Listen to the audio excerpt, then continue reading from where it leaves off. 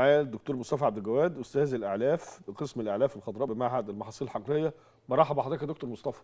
أهلا بك يا أستاذ سامح وبالساده ومشاهدين مصر الزراعية. بشكرك على تواصلك معانا. دكتور مصطفى أحد المزارعين كلمني امبارح قال لي عايز أعرف الخدمة بتاعت القمح في الشتاء. أضيف له إيه وأعمل إيه وإيه المواعيد؟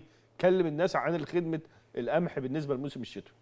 آه، بالنسبة لخدمة القمح هو القمح دلوقتي في الدلتا بيعوز 70 وحدة أزوت.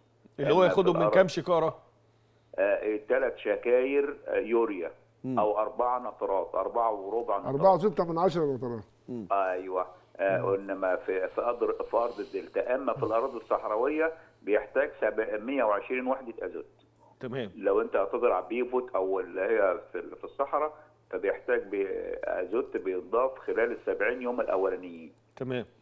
آه طيب بالنسبة لدرجات البرودة اللي إحنا شايفينها وانخفاض درجات الحرارة دي ليها تأثير على القم على ال- البرسيم آه، طبعا كل حاجة البرد بيأثر على البرسيم بس إحنا لو رشنا أحماض آمينية أو سيليكات البوتاسيوم بتعمل تعادل داخل الخلايا النباتية أيوة. آه، ف- ف- فبتعدي الموجة دي بسلام دون أن يتأثر وبعدين الت- التأثير في البرسيم كله إن هو أنا بتعطل شوية عن الحش مم.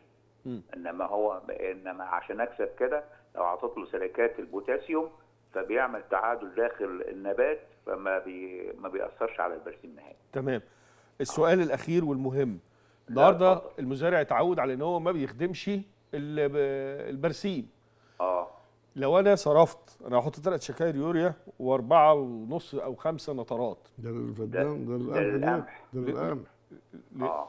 لا أنا عايز أتكلم عن البرسيم بس آه عن عن البرسيم البرسيم أنا ما بضيفلوش إلا الجرعة التنشيطية ال 15 وحدة اللي إحنا اتكلمنا عليها مع سعادتك قبل كده إنما الباقي كله بحط حامض فوسفوريك وبحط وبرش أحماض أمينية و NPK عناصر صغرى بعد كل حشة فبيخلينا عشان العقد البكتيريه بتشتغل على عمر 45 يوم.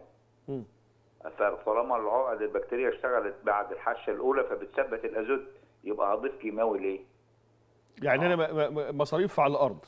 مصاريف على الفاضي. بالنسبة للآ للبقوليات وخاصة البرسيم. تمام. إنما أنا بحط ال ال 15 وحده عشان انشط العقد البكتيريه بعد كل؟ 45.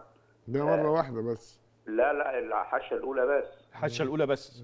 أيوه. إنما بعد كده لو حطيت أي كيماوي آه، أو أي أسمدة كيماوية ب- بتأثر على البرسيم على إنتاجيته. يعني آه, آه هو يديلك شوية خضر بس بدل ما بيقعد لشهر ستة هينتهي عندك في نص أربعة. تمام. بشكر حضرتك الدكتور مصطفى عبد الجواد أستاذ الأعلاف بمعهد المحاصيل الحقلية.